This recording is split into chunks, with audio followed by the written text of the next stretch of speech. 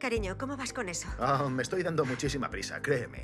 La bebé aún no ha nacido y no va a gatear durante cuánto? ¿Seis meses? Se recomienda adaptar la casa al bebé antes de que llegue. En cuanto nazca, no tendremos tiempo ni de lavarnos los dientes, y menos para quitarlo peligroso. Entonces sugiero que aprovechemos al máximo estas tres semanas.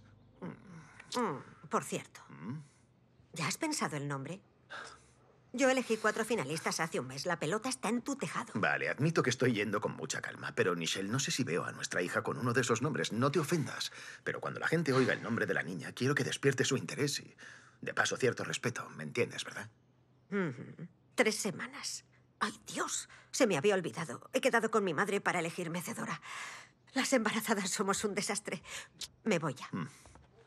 Falta uno. Lo sé, jefa. Ya voy.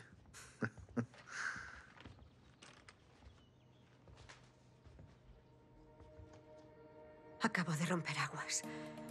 Tres semanas de adelanto es, es muy pronto. Tranquila, tranquila. Vale, a ver. En serio, no pasa nada.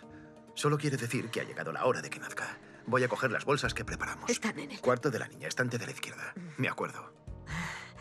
Mejor me voy a cambiar. Sí, vale, ve. Corre, hay que llegar al hospital. Vamos a ser padres. ha llegado el día.